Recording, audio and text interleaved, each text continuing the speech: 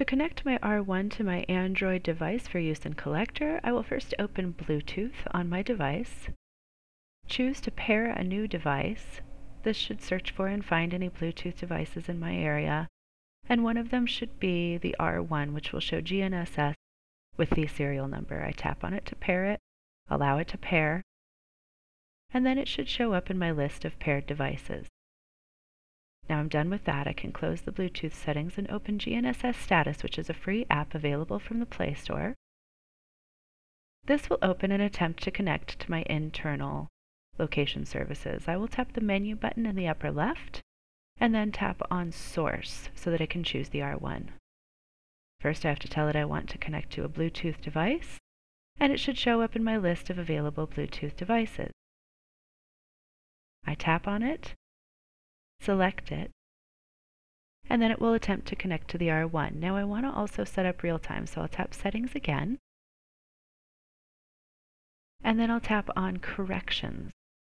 This will allow me to set up SBAS as the primary correction source, which is ideal for the R1 in most situations and will get me the best accuracy in Collector. Now I'm finished there, I can open up Collector, and once in there I'll tap the menu button in Collector. From there, I'll go to Settings. Once in the Settings page, I'll be able to tap on Location Provider, and that's where I can set the R1. Now I can choose to add a receiver, and it should show up in my list of available receivers. I can see the R1 listed there. I'll tap on it, and then set the antenna height, which will be about how high I'm holding the antenna, in my case about a meter off the ground. Now it shows up as a receiver that I can choose. I tap on it to put the check mark next to it, and then I'm ready to go into a map. So I'll open up a map and I should be able to see my location on the screen because I have the R1 outside with a good view of the sky. I can tap on the location icon in the lower left and that will allow me to see information about the receiver that I'm connected to.